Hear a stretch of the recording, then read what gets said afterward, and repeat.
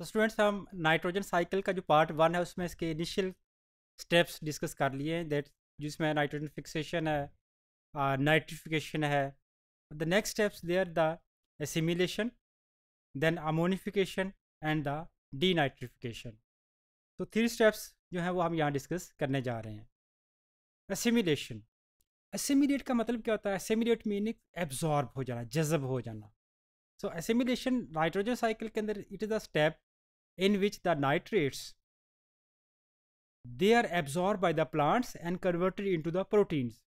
कि नाइट्रेट्स जो कि, यानी कि नाइट्रिफिकेशन के प्रोसेस के दौरान जो नाइट्रेट्स बने थे प्लांट्स जो है उनको एब्जॉर्ब करेंगे और उससे आगे different proteins amino acids nucleic acids और डिफरेंट न्यूक्लियोटाइड जो है वो सेंटिसाइज करेंगे। तो then these plant materials they are utilize by the animals तो अल्टीमेटली ये नाइट्रोजनस कंपाउंड जो है वो एनिमल्स के अंदर एसिमिलेट हो जाएँगे। So two steps first step के ऊपर प्लांट्स जो हैं, वो एसिमिलेट करेंगे नाइट्रोजन को in the form of nitrates और उससे फिर अपनी प्रोटीन सेंथिसाइज करवाएँगे। देन एनिमल्स कैसे एसिमिलेट करेंगे नाइट्रोजन को? They will utilize the nitrogen which is simulated by the plants जो प्लांट्स हैं, जो नाइट्रोजन प्रोटीन्स बनाने में यूटिलाइज कर दी है न्यूक्लिक एसिड बनाने में यूटिलाइज किया उसको एनिमल्स यूटिलाइज करेंगे और अपने बॉडी का पार्ट बना लेंगे। उसको जब it will become part of the body of animals here in this diagram अगर हम इसमें देखें तो जो एसिम्बिलेशन स्टेप है it starts from formation of nitrates nitrates की फॉर्मेशन के बाद ये nitrates they are absorb by the plants plants उसको एब्जॉर्ब करेंगे। उसके बाद प्लांट्स जो हैं they are eaten by the animals तो नाइट्रेट से की फॉर्म में नाइट्रोजन प्लांट्स को जाएगी और प्लांट्स में ये प्रोटीन्स में कन्वर्ट होगी। और ये प्रोटीन्स जब एनिमल्स खाएँगे तो अल्टीमेटली नाइट्रोजन जो है वो प्लांट से एनिमल्स में ट्रांसफ़र हो जाएगी। तो this portion of nitrogen cycle is the assimilation step ये हमारा जो है इसका एसिमिलेशन स्टेप होगा। अमोनिफिकेशन नाइट्रोजन साइकिल के अंदर अगर हम देखें, जो नाइट्रोजन है, वो सिर्फ़ और सिर्फ़ एटमॉस्फेयर से डायरेक्टली जो है वो नहीं आ रही है, बल्कि बहुत सारी नाइट्रोजन जो है वो रिसाइकल हो रही है। रिसाइकल कैसे हो रही है? स्पेशली जो एनिमल्स हैं। तो एनिमल्स या अदर ऑर्गेनिक मैटर जो है वो, जब जिसके अंदर प्रोटीन्स है प्लांट प्रोटीन्स हो सकती हैं दैट इज़ डिकेट जब उसकी पार्शियल ब्रेकडाउन होगी उसकी, एक उसके यानी complex molecule they are broken down into simple molecules तो जो नाइट्रोजनस कंपाउंड्स हैं they are converted into ammonia और वो अमोनिया दोबारा जो है, वो सॉइल में अवेलेबल होती है। ये प्रोसेस जिसमें एनिमल्स जैसे एनिमल्स के अंदर एक्सक्रीशन का प्रोसेस है नाइट्रोजन वेस्ट बनते हैं, जिसको हम यूरिया साइक खारिज किया जाता है।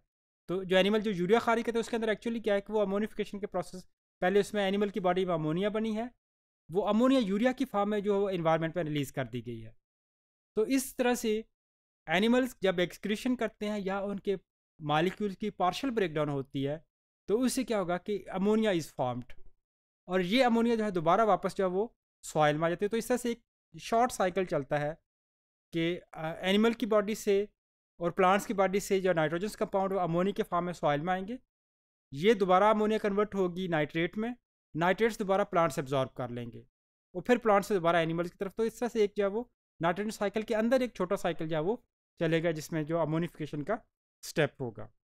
तो अमोनिफिकेशन स्टेप्स को अगर हम यहाँ डायग्रामेटिकली देखें तो हमारे पास प्लांट्स और एनिमल्स।